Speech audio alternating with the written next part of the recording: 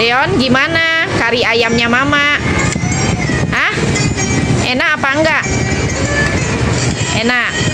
Beneran? Yakin? Oke deh. Makannya berapa piring nih?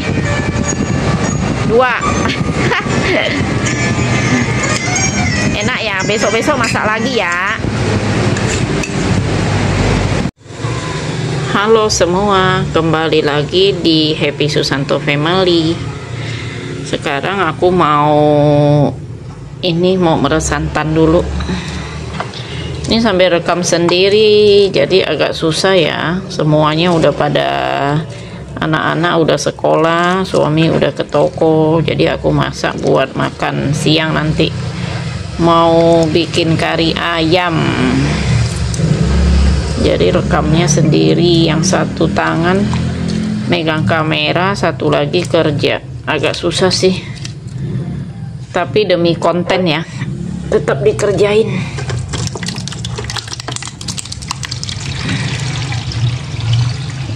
Ini aja. Peres-peres dulu. Ini lagi di belakang rumah eh enggak di belakang rumah sih di depan dapur ini. Soalnya di dapur sempit banyak cucian piring pada belum dicuci. Jadi sus susah ininya. Jadi di depan aja enak nih di depan sini luas. Ya tuh. Enak di depan sini mah luas. Bisa lihat langit-langit tuh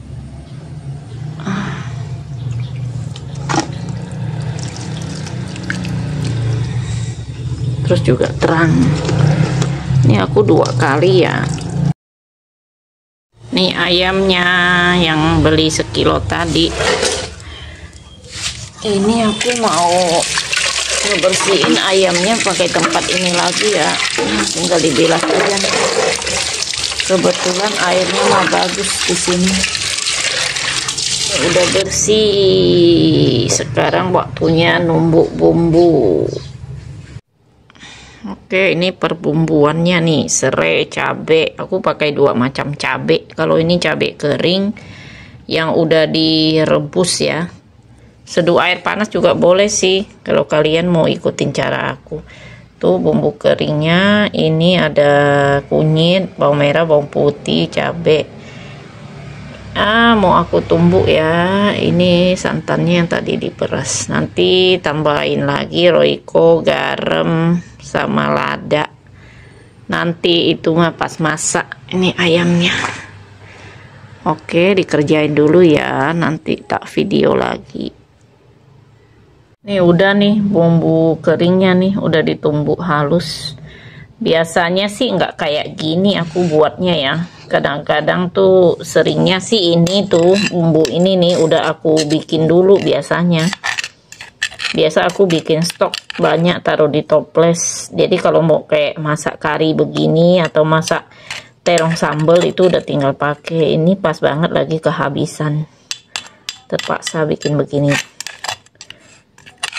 Nanti mau diongseng-ongseng dulu ini di kuali biar dia wangi.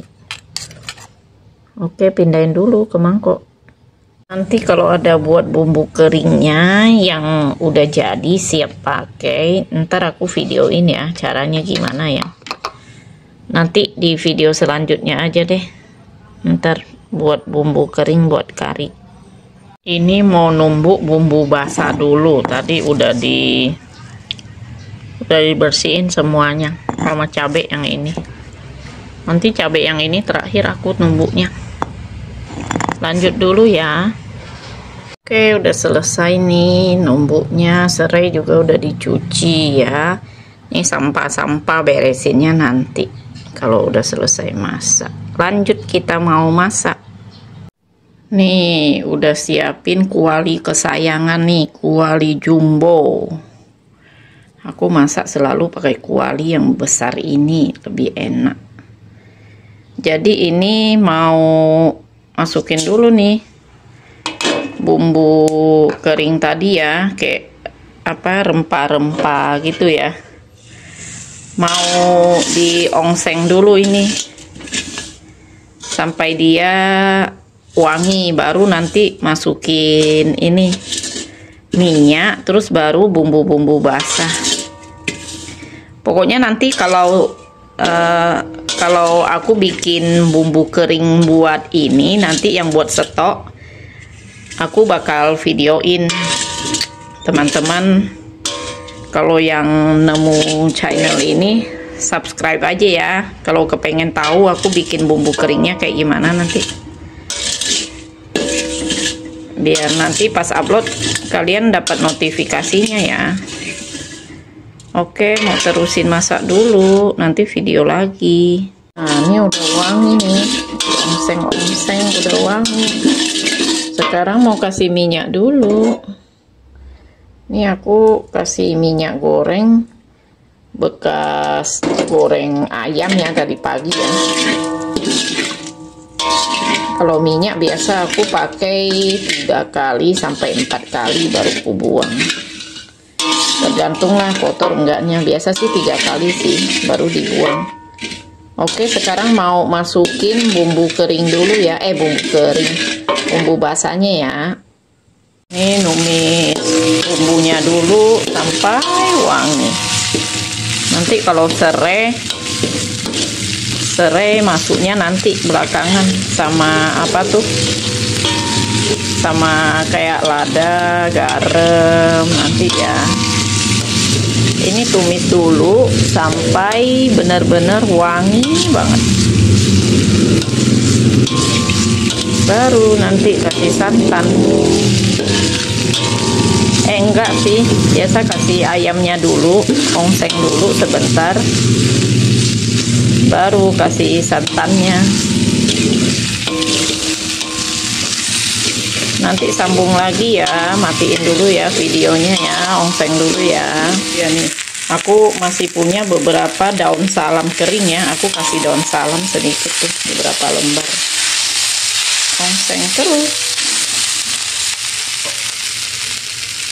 Oke ini ayamnya udah masuk. Aku nggak masak semua. Ayamnya masih sisain sedikit nih.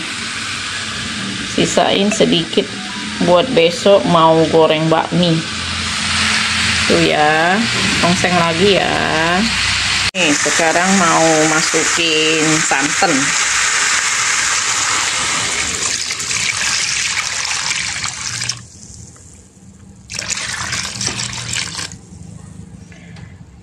udah tinggal dikasih serai sama bumbu yang lain-lain. Nih serainya udah aku ituin ya dihancurin ya digeprek ya. Tuh masukin serai. Tadi juga udah dikasih garam lada sama micin ya. Nah ini mau kita aduk-aduk dulu. Nanti mau ditutup